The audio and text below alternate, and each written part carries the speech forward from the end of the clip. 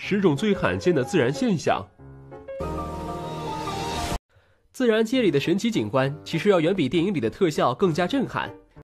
卡拉通博闪电，委内瑞拉的卡拉通博河地区是世界上打雷最频繁的地方，每年大约有一半的夜晚，天空中都会不停的出现闪电，被人们称为永不停歇的风暴。而就在这片天空下的孔古米拉尔多村，更是入选了全球最危险的村庄排行榜。在过去的一百年里，居民们大部分时间都要在闪电交织的环境里入睡。海底火山爆发，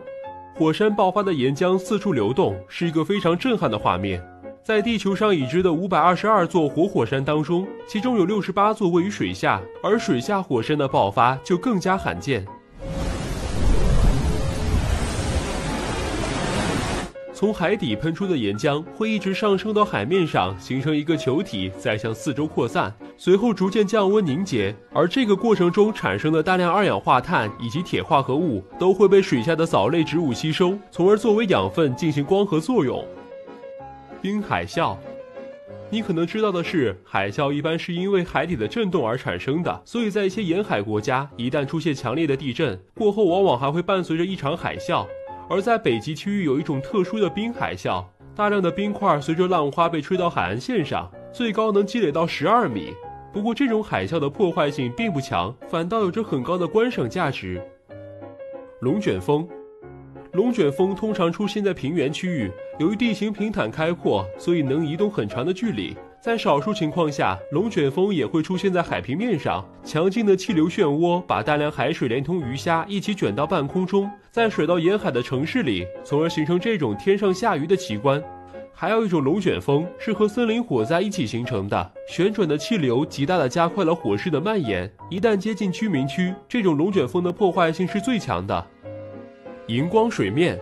你看到的这个画面并不是某个电影里的特效。而是马尔代夫特有的一种海洋现象，在每年不固定的某些时间段，水里会发光的浮游植物会聚集在海岸附近，它们能对外界的刺激做出反应，就像魔法一样。尤其是在每年的新月时期，由于月光暗淡，在没有其他光源的干扰下，这种荧光会更加耀眼。海洋泡沫这种现象，两千零七年曾经在悉尼出现过，大量的泡沫被冲到海岸上，让整座城市变得非常梦幻。不过，这些泡沫的来历可远远没有这么浪漫。海洋垃圾分解后的杂质和水里的藻类、浮游生物结合在一起，最后再被浪花冲到海岸上。如果这种现象频繁出现，其实证明着海洋污染越来越严重。死亡冰柱，二零一一年，在北极的海底，海洋学家们捕捉到了这种有趣的现象：由于温度过低，海水里的盐分析出结冰，而这些冰由于含盐量高、密度大，所以会变成絮状下沉。同时，它的温度也远低于零度，在向海底延伸的过程当中，会杀死途中遇到的所有动植物。冰川融化，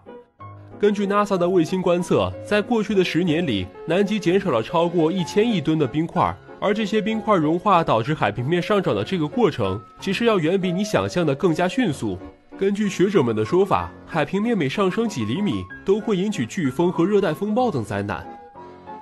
云的形状。在不同的地区的各种气候下，云也会形成不同的形状。比如雪峰上常见的透镜云，一层一层像是叠起来的；又或者热带的这种球状云，它们的形成和热带气旋有关；以及澳大利亚的带状阵尘风云，长度可以达到一千公里。圣埃尔摩之火，